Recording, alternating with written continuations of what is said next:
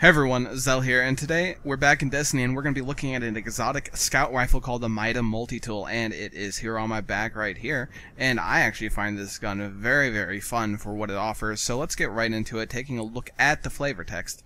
And here it is, and it says select application, ballistic engagement, entrenching tool, avionics, trawl, troll smashers, stellar, sextant, list continues. So this is a jack of all trades, it's good for a lot of different things.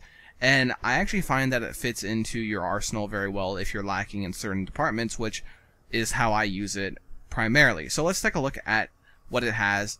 I don't have it fully upgraded damage-wise, but if we look at the stats, the stability is really nice, the reload speed is maxed out, and everything else is rather equal and not that bad for a scout rifle. So, getting into the first tier of upgrades, we have soft ballistics, less recoil, penalty to impact, CQB ballistics, greatly reduced recoil, significant penalty to range, and smart drift control, predictable and controllable recoil, penalty to range. Then we have Third Eye. Radar stays active while aiming down this weapon's sights. Then we have a damage upgrade. Second tier, we have Lightweight. When held, this weapon grants plus 2 character agility. We have Quick Draw. This weapon can be drawn unbelievably fast. And Field Scout maximum ammo capacity is increased. And finally, we have the Mida Multi-Tool. This weapon boosts move speed and fires on a hair trigger. Everything after that is damage upgrade. So let's see how this weapon works with other things and figure out what's going on here. Now, in a lot of other videos, I pick up Field Scout almost all the time. And if we look at what Field Scout does here, it increases the magazine from 21 to 26. It's not that big of a thing. But also, look at the reload speed on this. You don't need extra magazine. Magazine is good for a really slow reloading weapon or something that doesn't have that many shots or you just want to get your best buck out of it, you know? But with this weapon, you don't need to worry about that because it reloads amazingly quick.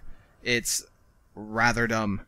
and then you have also with this, this weapon boosts move speed, and then we have agility which which boosts move speed even further. So this gun allows your character to move very quickly, and how I use it on my Warlock, and it might pre pretty much be my main gun on my Warlock when I'm doing PvP, which is my PvP class nowadays, is when you're looking at what I have for my Warlock, I have heavy armor, decent recovery, and low agility because I want to get the arm on my Warlock because I don't run a Rebirth Warlock, Fireborn Warlock. I don't do that on my Sunsinger.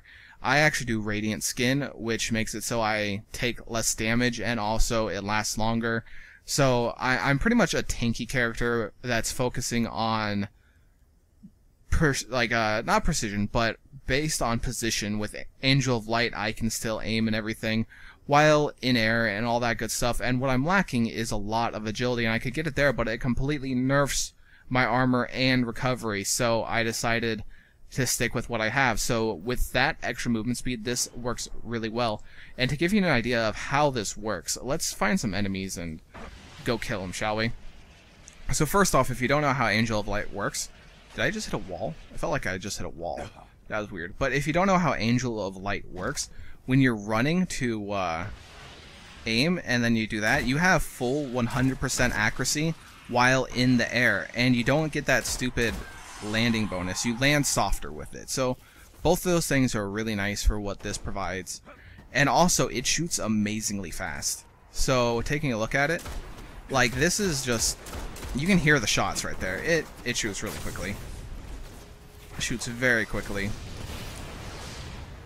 And it just works really well. I like it you get a lot of different shots going off and to just take a look specifically at the rate of fire on this weapon it's on a hair trigger so that means you don't have to pull down as quickly which means you can fire shots off quicker. But let's find a soft there we go. Like check this out. See how quickly that shoots? That's remarkably quick for shooting. And also the reload right there is amazing. Just just saying that reload is absolutely amazing. And that's what highlights this gun and I find that it's a very good exotic for a primary. It might not add a ton of different effects or anything like that but it really works well with your character and sometimes you don't need exotics in your other slots like your special say if you don't need an icebreaker or you don't need your Gjallarhorn and you're just doing basic stuff, you can use this really effectively in your character build, I find. And especially for PvP, where sometimes those other slots don't really need good exotics. Usually when I go PvP, I bring an exotic primary in anyways because it seems to do more for me. It's what I'm using more often.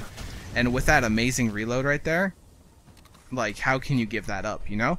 So that's my review on the Mida multi-tool. I do hope you enjoy it, and if you have any other ways you use this gun or any other builds you use it on, let me know.